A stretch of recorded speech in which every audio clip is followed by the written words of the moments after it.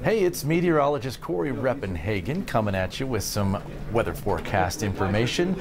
The snow and the rain slowly starting to, to diminish across the area from that storm system overnight. And the winds are just taking a little bit longer to diminish, although not too bad here in the Denver metro area. Let's take a look at the HD Doppler radar right now, and you can see those the rain showers have finally moved off of the eastern plains, at least the bulk of them.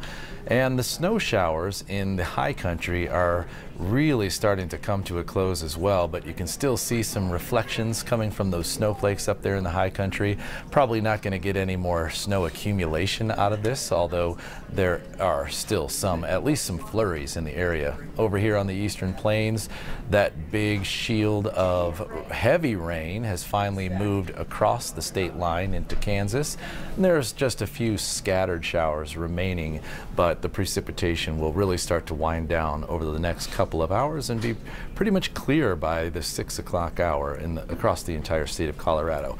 Winds dying down just a little bit slower, especially in these areas that are covered in the pink shaded areas. So much of the eastern plains and still Weld County and parts of Larimer County up to our north are still included in this high wind warning, which is scheduled to go until 6 p.m., which is the time we expect the bulk of these wind gusts to simmer down below that kind of the 30 mile an hour fresh threshold, which is still what we can see here in the Denver metro area. As you see from the wind gust forecast here going through the uh, rest of the night, I'll back that up just a little bit to about the 4 o'clock hour you can still see, now the, this forecast model shows you only the peak wind gusts that are possible.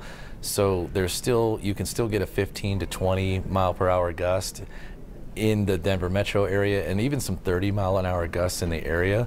But what it doesn't show you is how uh, infrequent these gusts are, which we're only getting uh, one of these peak wind gusts only about once or twice every hour now. So that kind of an indication it's starting to simmer down and you see the computer forecast model going into the 11 o'clock hour and we transition just into breezy conditions, which we're kind of feeling here mostly in the Denver metro area. And that will kind of characterize the day on Wednesday as well. The winds are not going to be completely gone, but they're not going to be ferocious either. I'd say a breezy day across much of the front range on Wednesday. Here's a look at the Eisenhower Johnson Tunnel up there in I-70. Traffic going westbound is stopped currently. There have been some minor issues up in the high country, but you can see the lanes there of I-70 are just wet. So at least the traveling conditions on the road surface are not too bad, at least on the east side of the tunnels. You can also see some snow flurries still going up there. That's kind of that's what we're seeing. Those reflections that we're seeing on the radar. That is what the the result is that, the actual snow is kind of flurryish, not not a huge impact, and that's what we'll see over the next few hours in the high country. But look at these snow reports, pretty respectable snow reports coming in from this very quick hitting overnight storm system here in the middle of April. Copper Mountain, 18 inches reported at their snow stake up uh, on the top of their resort this morning. So that's pretty, that's pretty decent. That was right in the top end of the forecast range. And uh, Copper Mountain has extended their season. They actually announced that yesterday in anticipation of some some more snow coming, and they're going to go all the way uh, into the first week of May here. And here's some other uh, ski resorts posting some marks up here that are still open. Loveland ski area coming in with 10 inches, Vail Resort with 12. Winter Park with 10. So the ski areas that are still open got some real nice fresh powder up there. Some of the towns got some decent totals as well. Uh, we got a report of eight near, very close to Silverthorne, Alma with 8.4 inches. So some pretty decent snow out there. Here's the computer forecast model going forward up to about 5:30. You can see that the state is pretty much clear of precipitation at this point, except for maybe down uh, right along the southern um, state line in near New Mexico and, and Oklahoma, but for the most part, this precipitation uh, event will be over at that point. Going into tonight, I think we'll get mostly clearing. I think we'll probably wake up to some cloud cover along the front range, maybe a, a mountain wave cloud early in the morning, but I think we're going to get our fair deal of sunshine through the day on Wednesday as well, and we'll get those temperatures up into the 70s again. Keep in mind this will these 70s will be accompanied with a little bit of a breeze, so that could take some of the, the warm edge off of it, but I think it's going to be a pretty comfortable day across the front range on Wednesday. Same thing with the high country. If you want to take a, a day off and head up there and enjoy what's some of that powder that's still left over. Now, you're probably wondering about what you're seeing on your smartphone apps about Thursday, Friday, and Saturday. So there are a few more cold fronts coming our way that we'll have to watch for.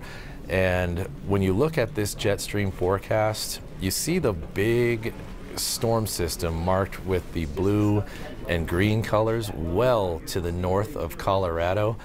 That chose, tells you one thing is that it's not going to be a direct hit from the from a storm system.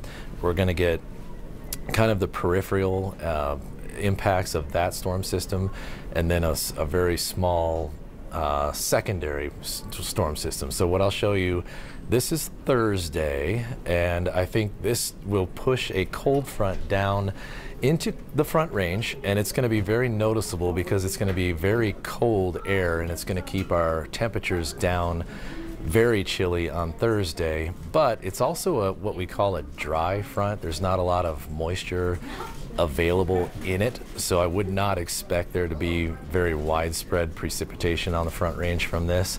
Maybe covering 10, 20% of the area as we go through Thursday. As I put it into motion here, there's just a little bit more of a substantial bend to this. If you look at the yellow colors there over the state of Colorado bending downward, it's a little bit more significant and I think there will be more moisture involved in this. So that will start to impact the area on Friday night going into Saturday morning. So if you take a look at what that all that information means laid out on the seven day forecast, kind of what you're familiar with looking at your smartphone apps.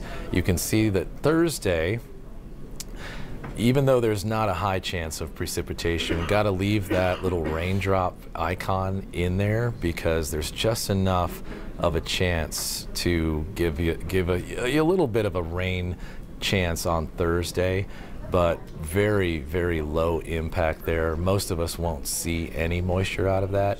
And then when we go into Friday, I think that will start to become noticeable on Friday night with mostly rain, but the temperatures will be cold enough to get a rain snow mix going on Friday night. And as the temperatures continue to drop into Saturday morning, I think that is where we could even see a full transition into snow. It most likely will remain kind of a rain snow mix for the city, and then the higher suburbs in the south and the southwest part of the, the metro area could get a full transition into some snowflakes if there's enough moisture left over. And most of the modeling is kind of suggesting that that will be the case. So if you have some outdoor plans on Saturday morning, I would expect that to be very uncomfortable for you if you've got some youth sports events out there or you're planning anything outside. Looking at a pretty uncomfortable morning on Saturday, even if it just ends up being a little flurryish and or drizzly. I think the temperatures and the wind gusts there on Saturday morning will be uncomfortable enough to kind of hinge what you kind of do with your with your plans on that day. That will start to gradually transition into some better weather towards the end of Saturday, but I really don't think that we're going to break 50 degrees on Saturday. And then Sunday is when we'll really start to see that rebound with a little bit more of sunshine, get those temperatures up there close to 70. And then we're probably looking at two nice 70 degree days on Monday and Tuesday before we get into a little bit of a pattern where we could see some afternoon thunderstorms develop for the rest of that next week. But so hopefully that gives you uh, an idea of what to do with those raindrops you're seeing on that Thursday, Friday, and Saturday situation. So thanks for joining us with the forecast information and have a great day.